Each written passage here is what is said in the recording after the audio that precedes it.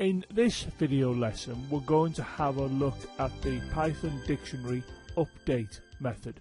This program statement shows us how we can create an instance of the dictionary class and this instance will be bound to this name capitals and if we look here we can see that the dictionary will be made up of three key value pairs. It can be useful to represent program statements and their effect by drawing a schematic diagram. Now this schematic diagram here is a representation of an instance of the dictionary class and you can see here I've used the name capitals which means that this is bound to this particular instance of the dictionary class and in this area you can see that I've shown the methods that have been defined in the dictionary class and these methods now are available to the instance. In the center here in the green area you can see that I have shown the three key value pairs that were defined in the program statement here.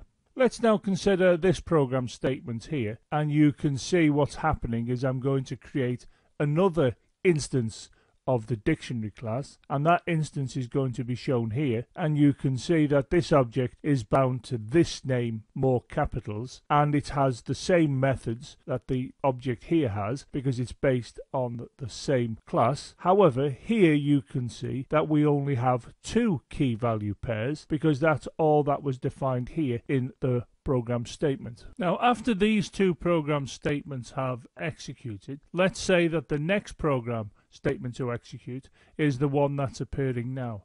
And we can see that this is a message and it is a message to this instance which in fact is shown in the diagram here and the method to be invoked is this method here. If we look at the method we can see in brackets that we're passing in the name of this object.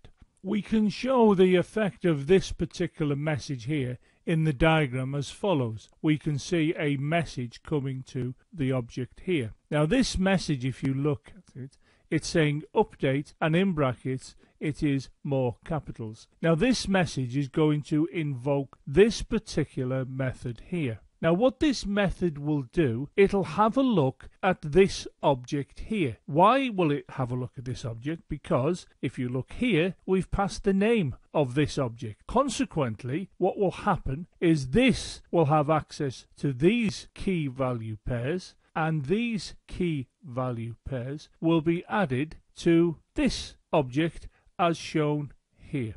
We can therefore see that this particular instance, this object, now has five key value pairs, whereas this particular instance still maintains the two value pairs that it had previous to this particular program statement. So this program statement only affected this particular instance. It left this instance alone. Of course, this instance was accessed to allow for these pairs to be copied across to here. So we say that this object has been updated by these pairs that resided in another instance of the dictionary class. Let's consider this computer program here. On this line you can see we create an instance of the dictionary class and this instance will be bound to the name capitals. And we showed this schematically a moment ago in this video. Now this particular line here will print the dictionary to the runtime. And here is the runtime and we'll have a look at what happens when we execute this particular line. And we'll see that what we get out is this. And we can quite clearly see that we have the three key value pairs that were defined here in the code. Now on this line we can see we're creating another instance of the dictionary class that will have the name more underscore capitals and we should see that it has two key value pairs. This line will now print the makeup of this particular dictionary and we can see that here and we should see that it has the two key value pairs. Now this line is a message. It is a message to this instance and it will cause this method to be invoked and you can see we're passing in this particular object here where this is the name that's bound to the object. Now what this particular line will do, it'll update this object with the key pair values that appear in this object.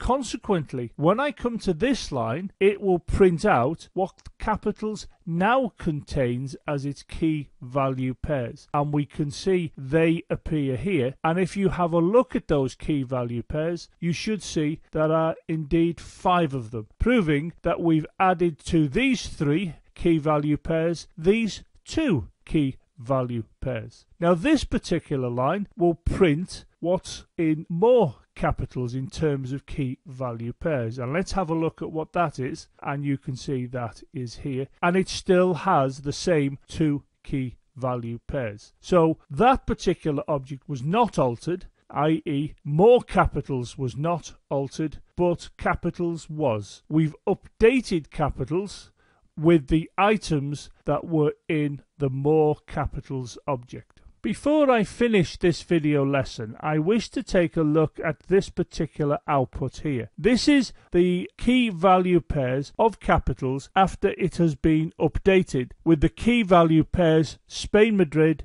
Italy Rome. And you can see that Spain Madrid is here and Italy Rome is here. And you might be thinking, well, why is this not added to the end of the dictionary?